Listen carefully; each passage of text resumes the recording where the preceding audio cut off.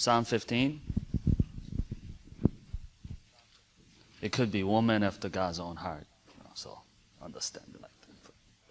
Psalm 15.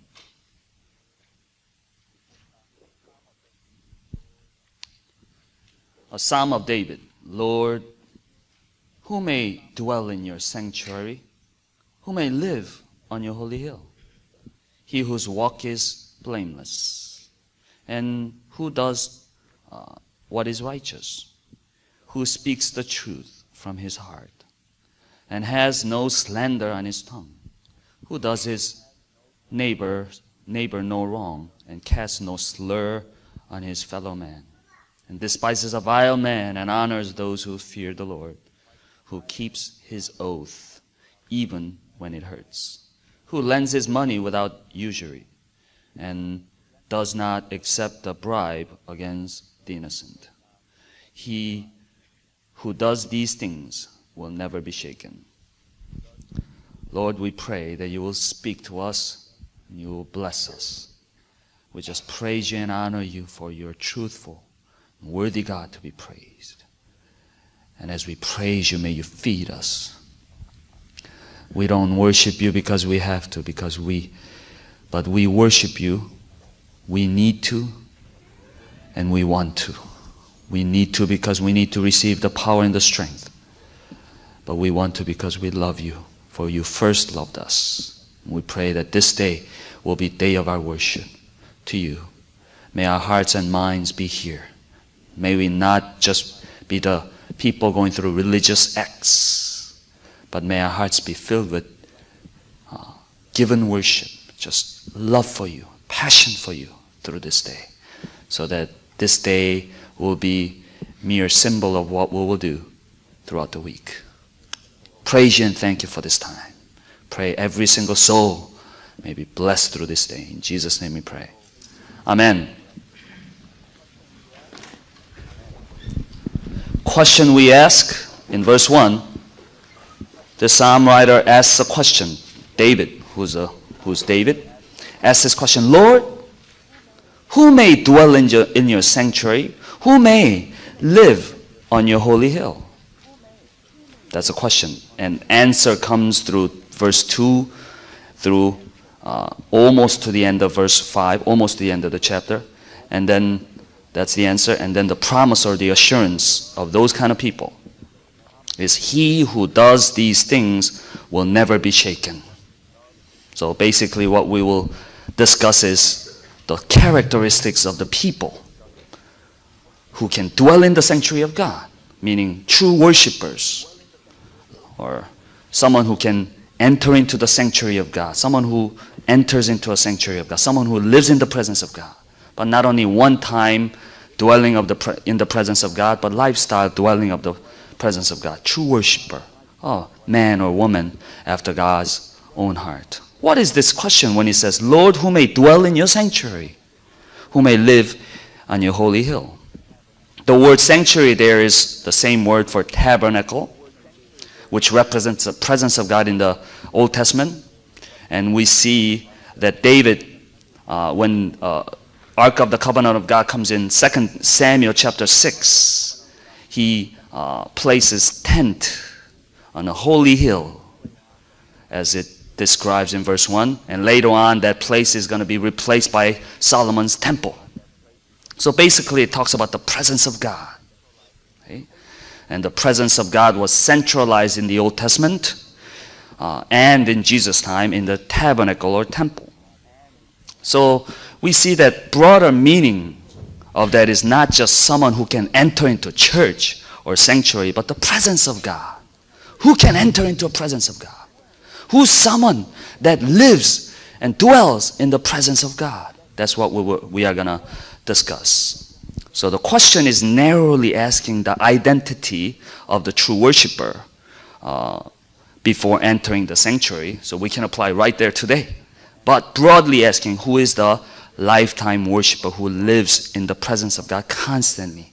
One who pleases God in the normal course of life as well as Sunday, and a man and woman who's after the heart of God.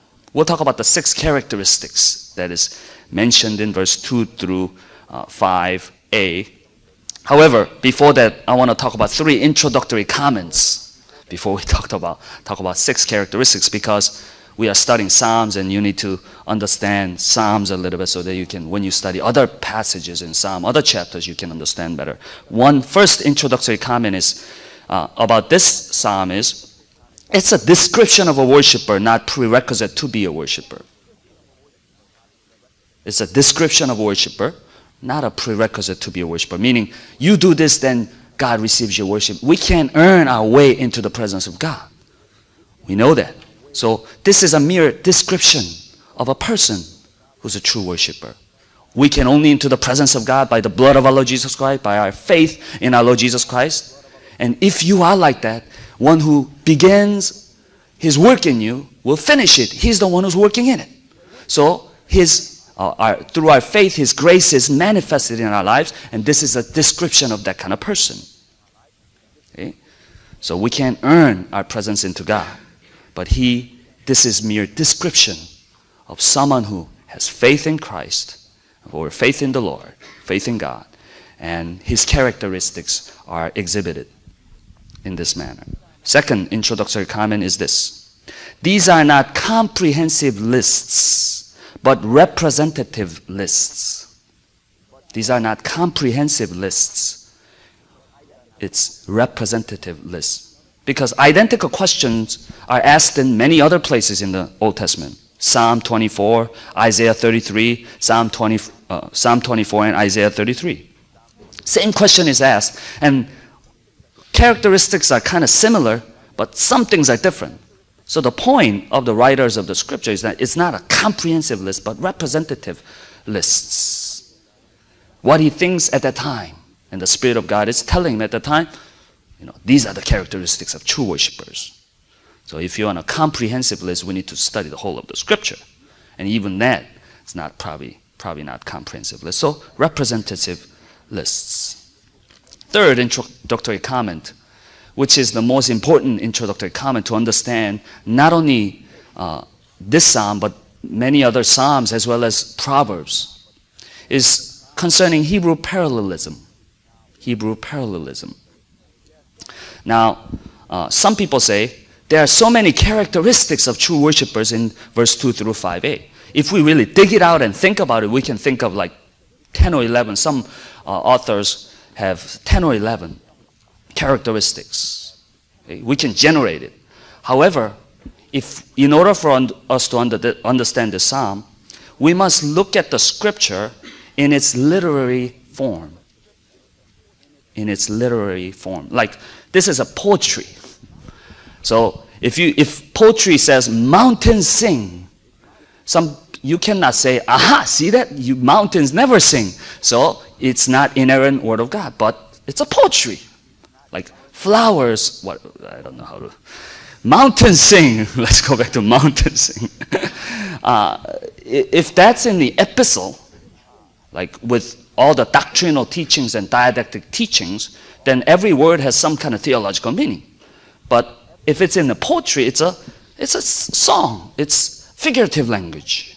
So we need to take it as such. So Bible is at least literature, at least. So we must read it with the literary devices. Well, of course, it's more than literature. Uh, within this literature, through these literary devices and ideas of the writers, God planted in the scripture inerrant Word of God. So we must understand its literary devices. English poetry is most often marked by rhyme and meter, but neither uh, of these is in Hebrew. There is a certain kind of emphasis in the lines, which corresponds to our meter, but there is no rhyme at all. Okay? The chief characteristic of Hebrew verse is in its parallel lines parallel ideas. Usually, the, uh, the idea of the first line is repeated in the second with a slight variation. Okay? But it is not always that simple. Sometimes a line involves repetition. For example, a repetition, repetitive uh, Hebrew parallelism, is in right here. He whose, uh, verse 2, he whose walk is blameless and who does what is righteous. Same idea, but talks a little bit different angle, but same idea, emphasize. It's almost like a repetition to emphasize a point. Sometimes it's there. Sometimes it's a contrast. Contrast. For, his, for example, when we uh, look into this verse, uh, uh, end of verse 2, it says, Who speaks the truth from his heart and has no slander on his tongue? Like two lines are opposite. He who speaks the truth and he doesn't slander. It's the same idea, but kind of opposite to emphasize a point. Then it goes together. Okay? Sometimes another form is like a not only this, but also that. not only this, but also that. For example, when you look into the end of verse 4, it says, He who keeps his oath, not only this, but also that, even when it hurts. So to emphasize one idea, uses parallelism like that. So, uh, in order for us to understand this psalm, we have to look at these parallelism, and there, there are six parallelisms in this uh, verse. So you can find more characteristics, but psalm writer is thinking about six characteristics, six ideas through this Hebrew poetry and parallelism. That's what I'm trying to say. You didn't have to understand all those things, but I'm trying to say, just to impress you, that uh, um, I know. So, so if you understand there are six uh, ideas in here, that's kind of helpful. So we're going to talk about six characteristics, six ideas to describe a true worshiper, lifetime, lifestyle worshiper. Now, to make it come alive, those six characteristics, I thought about it like this. Uh, sorry to the guys who are not, or people who are not interested in uh, basketball a little bit. I'm going to talk a lot about basketball, for Lord has inspired me uh, to talk about basketball a lot for some reason today. But, uh, you know, there's infamous CFC Summer uh, Basketball League that will be going on starting today, I think. Is that right? Starting today. And uh, I know a lot of you have been thinking about it, and talking about it, praying that you'll be in the right team and all these things. Uh, it, is it is not unbiblical to talk about this because whenever Jesus speaks, he uses what we call parables parable is what people are thinking about. He talks about it and then uses it to teach the scripture. So it's like to farmers, he says, all those, uh, when a farmer sows a seed and then he goes on teaching the scriptures, So I'm talking about basketball too, because a lot of you are thinking about it. So just understand what I'm talking about. All right. There was a draft yesterday people were drafted. I know some people who doesn't like basketball. Drafted? What does that mean? It does not mean that you get your portrait uh, drawn by people and things like that. It means draft means it means uh, you know like hundred people signed up or something like that, and then twelve captains draw out people secretly. They don't they don't uh, tell everybody that they uh, picked this person fifth times or something like that, and to because it kind of it hurts your feeling. So they, dra- they do draft. First person picks first player, second person, and then they go round and round. There's like, I don't know, there are like seven rounds or something like that. So there was, there was draft yesterday. And characteristics, people, captains have to think about the characteristics. Can they do this? Can they do that? Can they rebound? Can they shoot? Can they dribble the ball? Do they know what ball is? Do they know the rule? And you have to think about all these things. Uh, thinking about abilities and position and things like that. I, last year, it's kind of secret thing, but last year I heard I was, through a grapevine, I heard uh, I was picked fifth round. Fifth round means there, are, let's say there are 12 captains then. Every captain picks 12 people, one each, 12. That's one round. Second, everybody picks a second round, 24. Fifth round, I was picked. So this year I practiced hard. I try to get rebounds, try to do left hand layup and block shots. I practice all that. Hopefully, assuming I think I was drafted a little earlier than that, I hope so. Anyway, point of this is this. Just think of this as God not picking the basketball players. But if God is picking true worshipers, He's going to look at six characteristics. What round will you be drafted? Hopefully, it's earlier than me as a true worshiper. That's what we're going to talk about. Did I get everybody's attention here? Losing a couple of people, but it's okay. All right, six characteristics of the ones who will be drafted as a true worshipers. First, it's concerning who he is. First characteristics is who he is. Okay? Let's talk about character. Character. That's, that's what that first, if you count from verse 2, indented lines, he, who, who, who, who, who, that's six right there. Okay? If you count the Bible, if you have that NIV uh, study Bible, he, who, who, who, six. So starting with the first two lines, first parallelism, in verse 2 is he whose walk is blameless and who and who does what is righteous. That's the first characteristic. And that verse is talking about who he is, the who the person is, whose walk is blameless, whose life is blameless. Now the word blameless means whole or sound. Whole or sound. It means it refers to a person whose character, as we might say, is morally well rounded, whole, well rounded, and grounded. This person is not just strong in one area and weak in others. He strives to keep all the commandments in different areas of his life. Well rounded as a person. Well rounded in terms of his obedience in different aspects of his life. He strives to keep all the commandments in different times of his life. What is more, he does not vacillate, he does not fluctuate in his commitment to them. He is same Monday through Friday. He is same when he's alone and with people. There's consistency in his private and public life. And he does these things like a, he's a Scottie Pippen of Christian life. If you don't know who Scottie Pippen is, is that guy with a long nose in Chicago Bulls. He can rebound, he can shoot, he can play offense, he can shoot three pointers, he can shut the best defensive player down, he can steal, he can play point guard, he can do flash dunk to dirty work of diving for the ball. How many times has he gone to the people because he was diving for the ball? day in and day out. He can do everything on the basketball court. We're talking about that kind of Christian.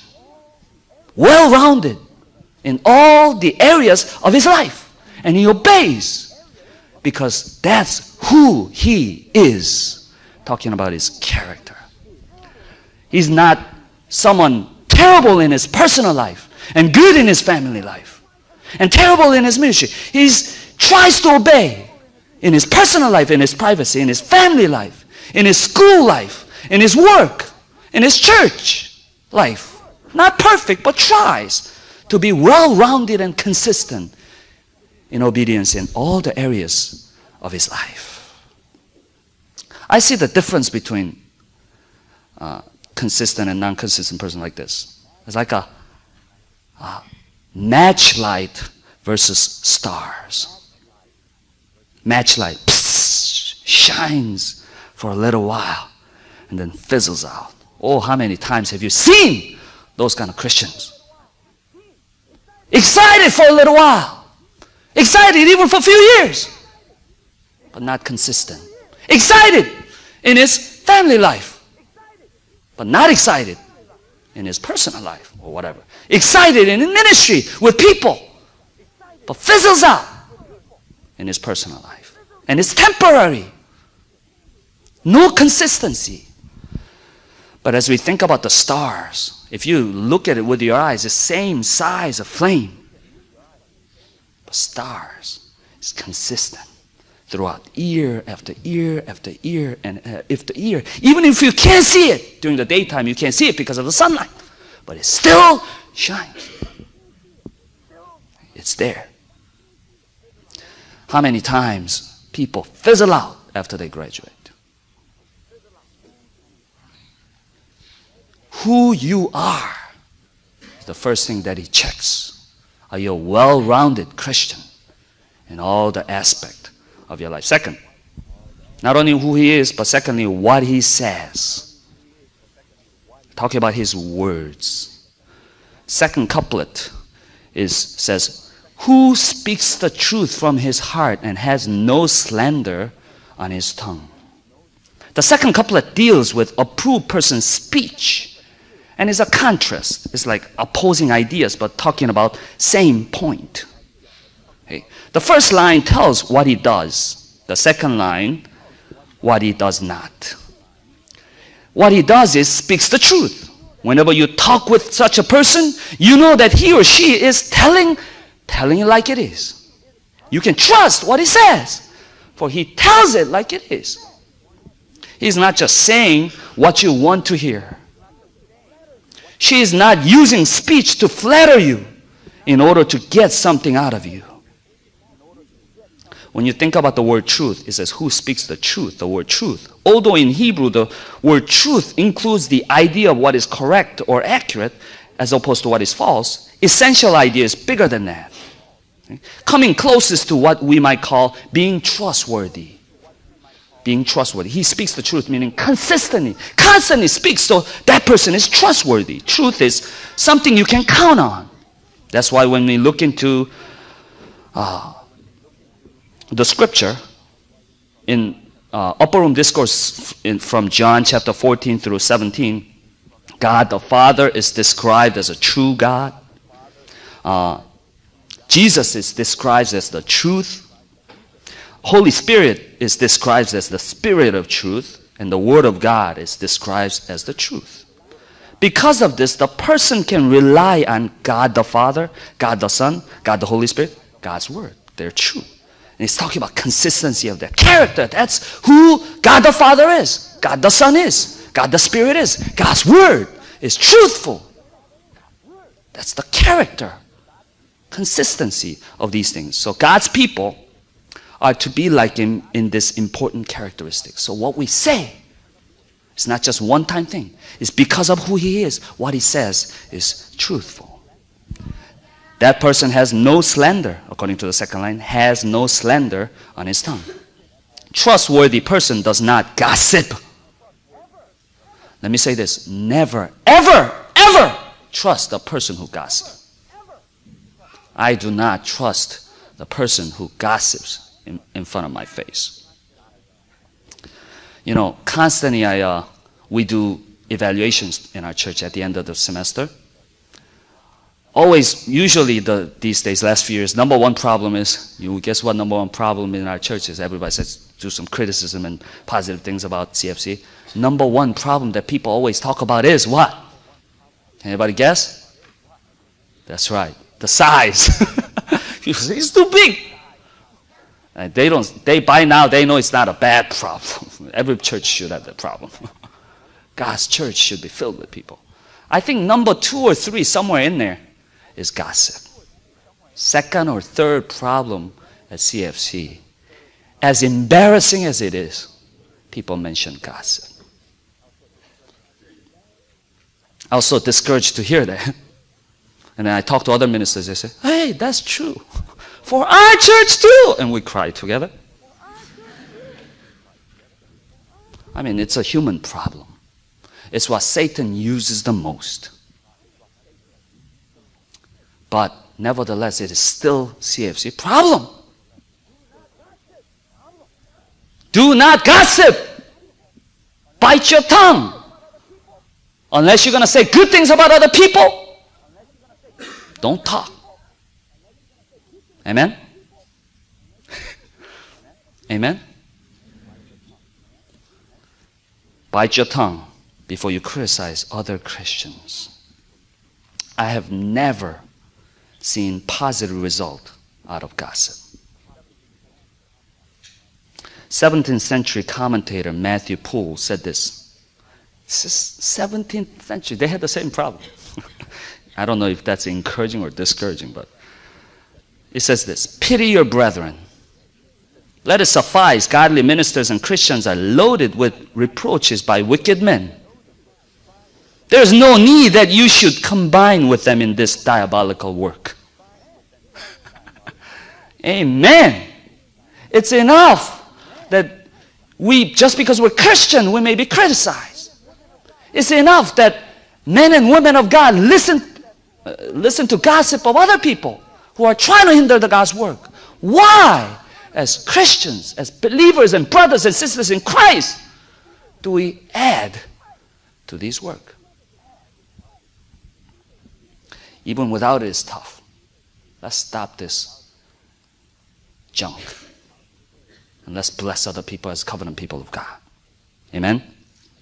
Third, characteristics. Third characteristic is what he does. Talking about his conduct. Now, third couplet says, He uh, who does his neighbor no wrong and casts no slur on his fellow man. So, cast no slur on his fellow man is very similar to uh, ver- uh, the second one. So, uh, the last one. So, uh, you know, but it goes a little further. It says, Who does his neighbor no wrong? So, so it's not just talking now, it's action, doing something wrong to his neighbor. Remember the progression that we talked about last week, if you're here. He blesses the man who does not listen to the counsel of the wicked, or who stands in the way of sinner, or sits in the seat of mocker. You slowly but surely, progressively get involved, gets involved in sin. Same thing here. Who you are comes out in your speech, and that, of course, affects what you do. And goes opposite way, goes over uh, as it comes out. As when it enters in, sin enters in, it goes the other way. The action uh, of doing wrong to his neighbor is mentioned here. Okay? Actual action. It starts from the thoughts and then goes to the words and then to action. It becomes a habit, it becomes a character. Okay? Thought, words, action, habit, character. That, that's who you become. It's not truth, character of not truth, but false. Slandering, cutting other people down. My question to you is Do you treat other people with respect, especially those who have a less important position in life than you do? Or do you snub them? Do you talk down to them? Are you mean? These verses tell us that these things displease God and are barrier to our fellowship with Him. For it's talking about the worshippers. Fourth characteristic is what he values. What he values. What he values. Fourth couplet says, Who despises a vile man but honors those who fear the Lord? Who despises a vile man but honors those who fear the Lord? This one, like the last couplet, has to do with our response to other people. It's different, however, because it's to do with our not only not to do with our words or actions, but how we regard other people. How we regard other people. What we think about them. What is our attitude toward them? How we regard them. More internal things concerning other people. It has to do with what we value. It has to do with what we value. Uh, in this way, it says, look at the verses, verse very carefully. He who despises vile man. His attitude toward this vile man, he despises because that's not what he values. He honors those who fear the Lord because that's what he values. So, my question to our generation is who do we really respect? Who's our role models? Who do you look up to? Because it tells you what you really value. Think about the role models of this society. A sad about this generation is that uh, there, there was a government commission in Canada studied the characteristic of today's young people, and what they found out was there was no role models. You know, I think that's better than having wrong role models. No role model is better than wrong role models. But sad thing is, if you look, look, they might not say it, but there are people they respect because they wear clothes like them. They look like them. Haircuts, baggy pants, Nothing wrong with that. I'm just saying they have somebody they respect. They want to look like some people. Okay? These days, role models are not Abraham Lincoln. Some of them don't even know who that is. Thomas Edison or George Washington, Gandhi. All those things, you may say, oh, they were not Christian. But it has to, at least those role models had to do with characters. Now, their role model has to do with their performance. Superficial outside or their position or popularity is not to do with a character because that's not what they value anymore. These days, people's role models are sports figures and rock stars. Nothing to do with characters but their performance. Look into their lives, it's pretty pathetic. But they're, they're role models. But I say this if it's going to be rock stars or sp- sports figure, I'd rather have kids respect Michael Jordan than Dennis Rodman. Don't do you agree with that?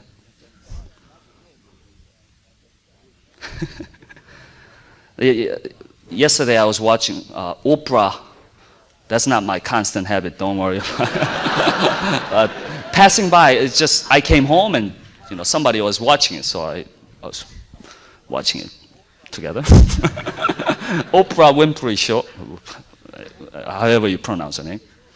And uh, Michael Jordan came out to Oprah show, and that was recorded last year after they won last year's championship. And you know, a couple questions that Oprah asked Michael Jordan. One thing is, said she said this. You know, do you know how big you are? and he goes, Oh, you know, sometimes it hits me, sounding humble and things like that. And Another question, I thought that was kind of a good question. I wonder, I really wonder how, I mean, think about the world population. I go to different countries in Africa, they're wearing Michael Jordan shirts and things like that. And then another question that Oprah, Oprah uh, uh, another comment Oprah made was this. You know, considering how big you are, you handle your popularity very well. No matter what you say, you are a role model and you handle it very well. I thought about that. I go, of course, he's not perfect, okay? He does a little gambling. A couple hundred thousand dollars to what he gets is like penny to us, but, you know, little gambling and he has a little temper. You know, he's worshipped little too much among the people and all these things, but there are a lot of positive things that he has. Right? Hard work. He works hard. As a superstar, he is. He is persistent. He does not quit. Even his sickness, he comes out and does his best fifth game of NBA. I mean, if he didn't came out and uh, Bulls would have lost, I mean, it would have changed the history of NBA. I think. I think they could have lost. Just to emphasize the point and exaggerate, preacher's exaggeration a little bit. Okay, talking about his loyalty toward Scottie Pippen and his coach. His loyalty. Hey, he's the only coach I'm going to play for. Ah, that's something that young young people should learn. He's a team player.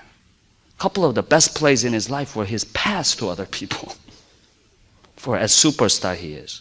I think if it's gonna if if if it's gonna be sports figure or rock star, I I like it, you know, that Michael Jordan is respected because at least there's some character that he shows rather than his achievements and performance.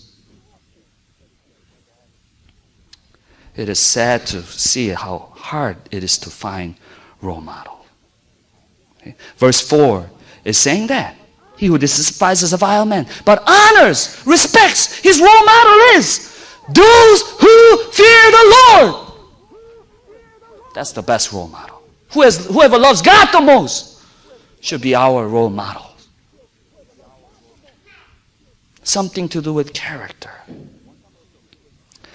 Uh, one social critic said this We have reached a point in our day where people would rather be envied, envied, but uh, envied than admired. We have reached a point in our day where people would rather be envied than admired. I thought about that. That's pretty profound. What, where is this world going to? I wish some blue collar workers, everyday heroes, can be role models of children nowadays. Teachers who, who's been consistently teaching, putting moral values into these virgin minds. washing their brains so that they will not be washed by the wrong values of this world. Janitors who've been working for 50 years consistently. And we should respect them for their characters. I always respect, because I'm a pastor, I always respect any pastor who's been pastoring a church for 30, 40 years, 50 years, white hairs and wrinkles. I, have, I don't care what they've done, I just have automatic respect for them, for their consistency, staying in there. How about mom and dads who raise four or five children? That takes character, people.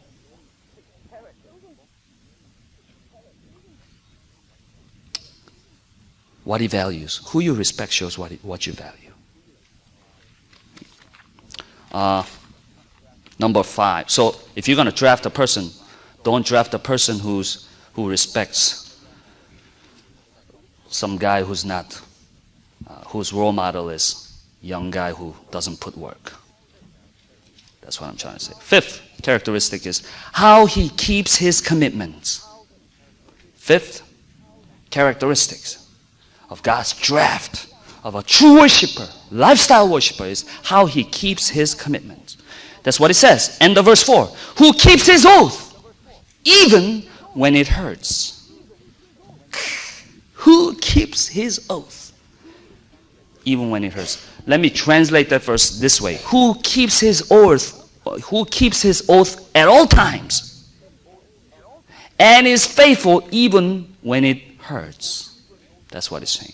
Who keeps his oath at all times, even and is faithful even when it hurts himself.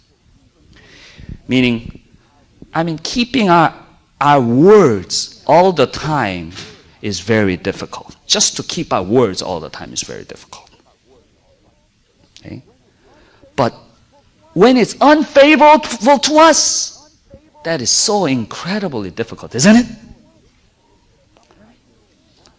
Sometimes it is not favorable for us. Uh, sometimes it is not unfavorable when we make commitments, certain commitments. We think about it, we calculate, it's okay, so we make commitment. And then later on, it turns out to be unfavorable. Then what do you do? It's hard to keep that commitment, isn't it? Let me make a little confession during a I told you I'm going to talk a lot about basketball. During a Bulls finals, you know, they were playing finals. And, uh, you know, some people made appointments like a few weeks before that. Don't calculate your appointment time, those who met me. Like, and, you know, I didn't know what was going to happen. but just the, during the days that they had Bulls finals, that same time,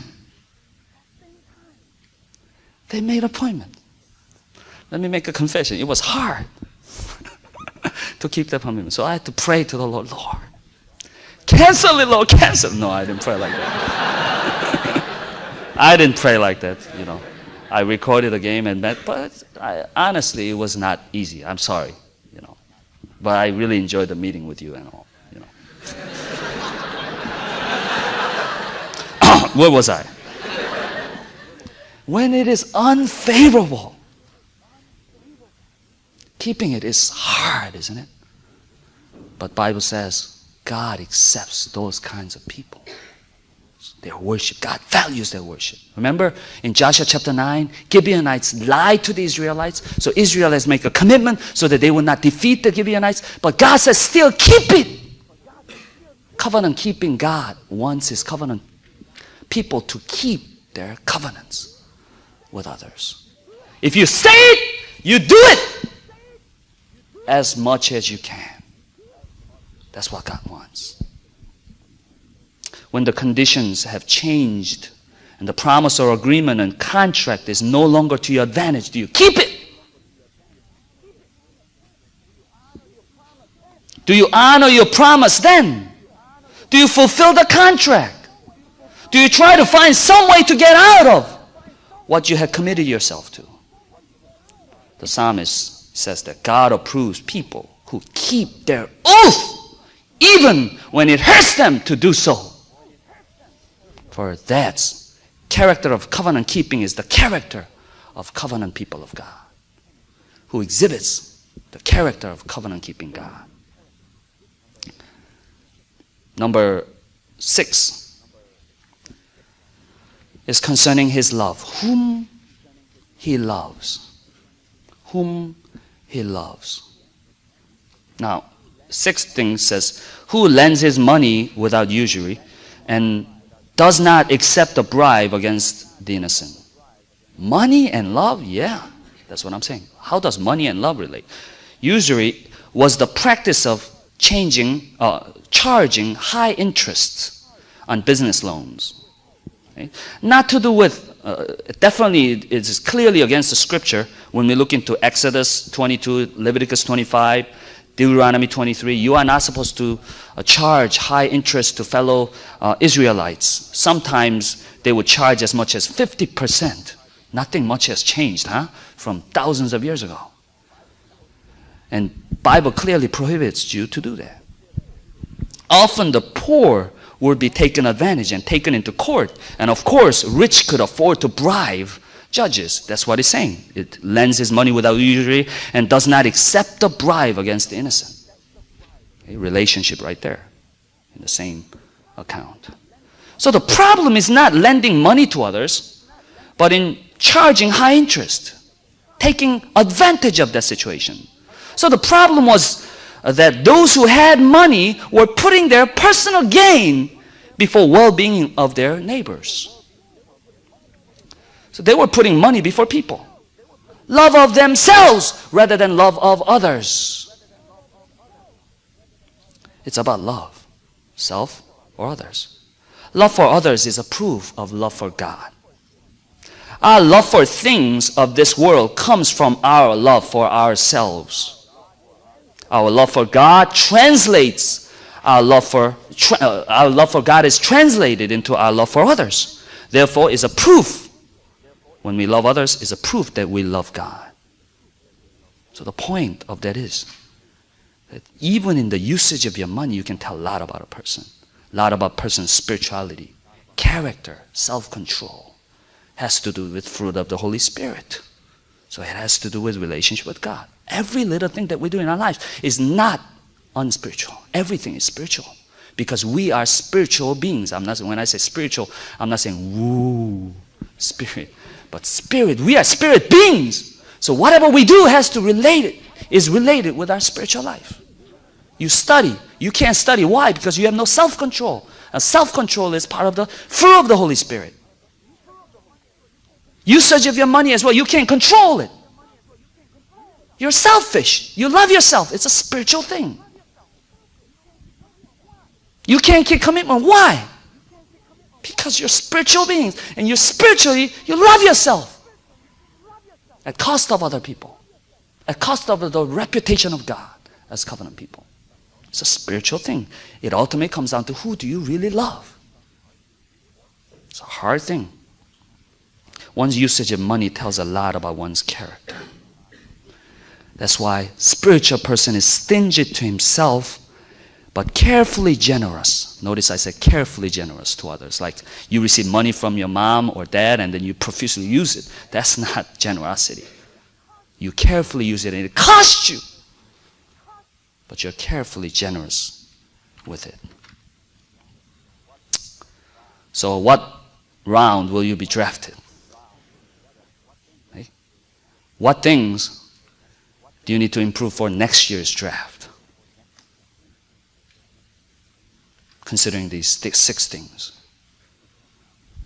Let me make a two concluding comments and we'll finish up. Two things.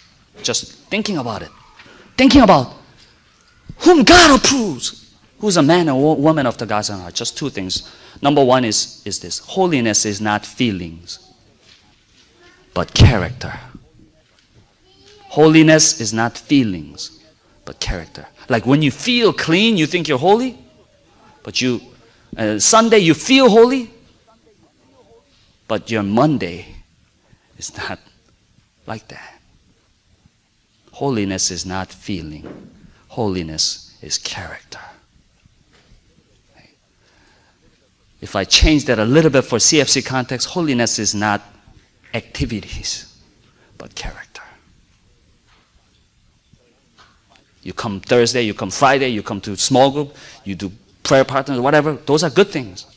But do not mistakenly think that you're holy just because you do things. God does not. God is not pleased with animals or sacrifices. He searches for an obedient heart. What you do, right? What you do out of your love, genuine love for God, that's what He seeks. To obey is better than sacrifice, giving animals sacrifice. To obey out of genuine love for Him. So holiness is not feeling, but character.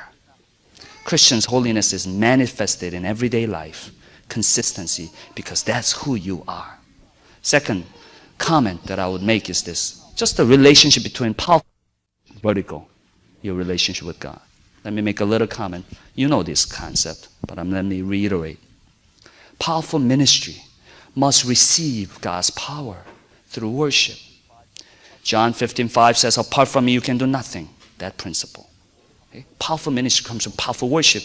So, what, what this verse is saying, if you go to the worship, go to the sanctuary of God and you worship God genuinely, then all these things will be manifested in your personal, private, public ministry life. And these are the characteristics that are manifested because you have powerful worship with God. Okay?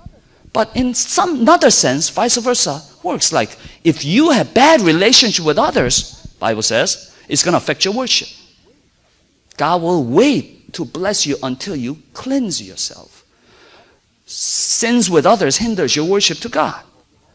For example, Bible says before you give offering, you take care of your offense against other people.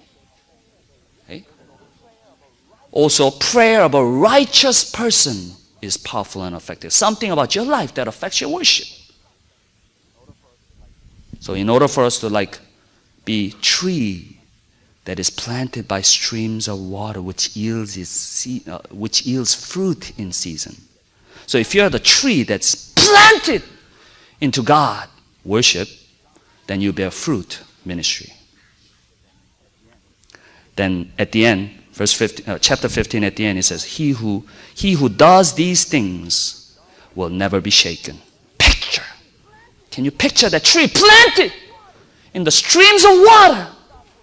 Planted into God's word. Planted into God in worship. Will never be shaken and will bear fruit. Powerful worship, powerful ministry goes together. Let's pray.